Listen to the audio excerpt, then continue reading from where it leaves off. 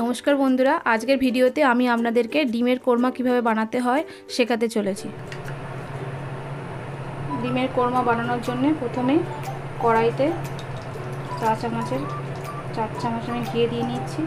এটা পুরোটাই আমি ঘি দিয়ে করব। এতে সাদা তেল দিয়েও করা যায়, দুরকম মিশিয়েও করা যায়। সাদা তেল বলতে রিফাইন্ড অয়েল।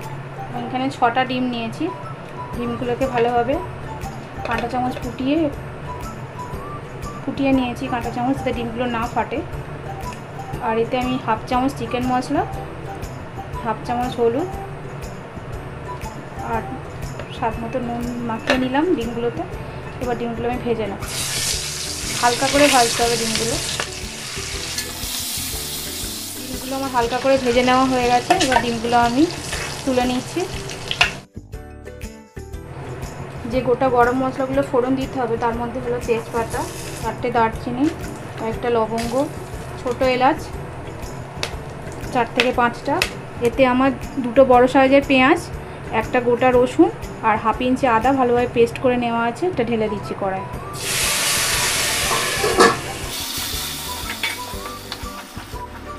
ভালোভাবে মশ বাটা মশলাটাকে ভেজে নিতে হবে। এখন কিন্তু আমি এতে একটুও নুন দেবো না।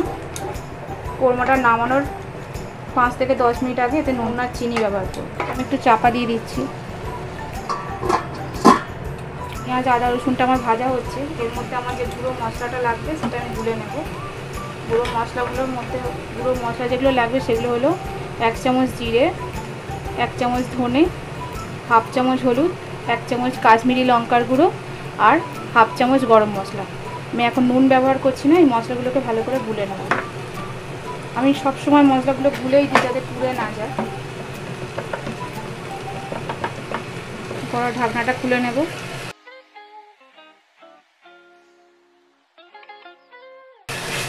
আমি যে মশলাগুলো ভুলে রেখেছিলাম, সেটা ঢেলে দিলাম। ভালো করে কষিয়ে নেব।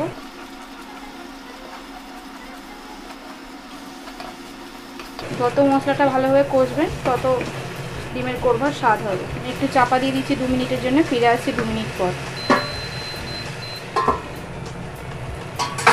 ফিরে এলাম আমি দু মিনিট পর। মশলাটা ভালোভাবে ভাজা হয়ে গেছে। ফিরে রাখা পাঁচটা কাঁচা লঙ্কা দিয়ে দিলাম। আর চার চামচে দু চামচ টক দই।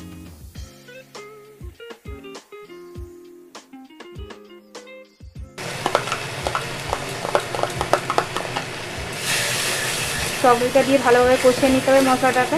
পুরো জল ব্যবহার করলে চলবে না। এই পুরো রান্নাটাই দুধ দিয়ে হবে। টক দই দিয়ে আমার ভালোভাবে কষানো হয়ে গেছে। এবার আমি এতে মেট্রো ডেয়ারি দুধ, এক গ্লাস মতো আমি দুধ নিয়েছি, মেট্রো ডেয়ারি দুধ। দুটোই অ্যাড করে দেবো। অনেকে পেঁয়াজ, বেরেস্তা করে সেটা দেয়, কিন্তু আমাদের বাড়িতে ওটা খুব একটা পছন্দ করে না সেই জন্য আমি ওটা দিইনি। দুধ দিয়ে আমি মশলাটাকে ভালোভাবে কষিয়ে নিচ্ছি। এটাকে আমি পাঁচ মিনিটের জন্য চাপা দিয়ে দেবো। ফিরে আসছি পাঁচ মিনিট পর। ফিরে এলাম আমি পাঁচ মিনিট পর। এটা দু রকম দুধ দিয়ে করছি। আপনারা পারলে আমুল দুধ দিয়েও করতে পারেন। আর শুধু গরুর দুধ দিয়েও করতে পারেন। আমি এটা দুরকম মিশিয়ে করছি। আমুল দুধ আমি গুঁড়ো এই অবস্থাতেই দিয়ে দিচ্ছি।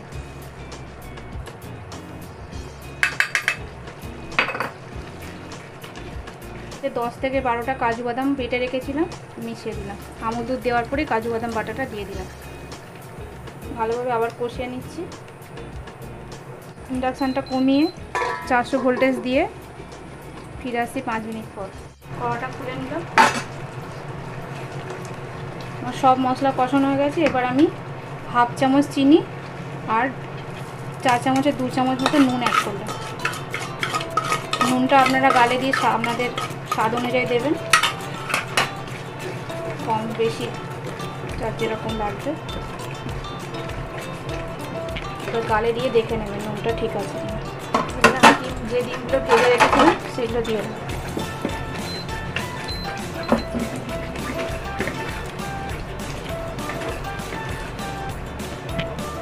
যে মশলাটা ব্যবহার করেছি, যে পরিমাণ মশলাটা আসলে দিয়েছি আমরা দশ জনের মতো। ডিমের কোমা করতে পারো। দশটা ডিম দিয়ে করতে পারো।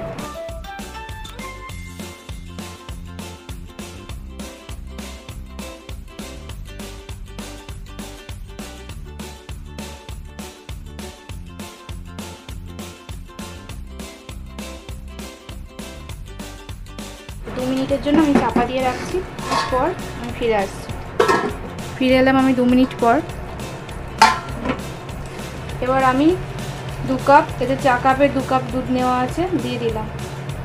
আগে আমি এই কাপের এক কাপ দুধ দিয়েছি।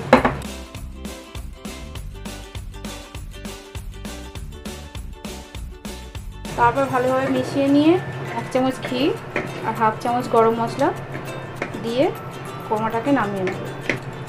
পুরো রান্নাটা যেহেতু আমি ঘি দিয়ে করেছি, এখন এক চামচ ঘি দিলাম, এক চামচ গরম মশলা দিলাম। চামচ কেওড়া জল দিলাম। এটা আমি আগে দিতে ভুলে গেছিলাম। ডিমের কোরমা রেডি এবার আমি এটাকে নামিয়ে নেব। আমার ডিমের কোরমাটা পুরোপুরি রেডি এবার আমি এটা সার্ভিং বলে ঢেলে সার্ভ করে নেব।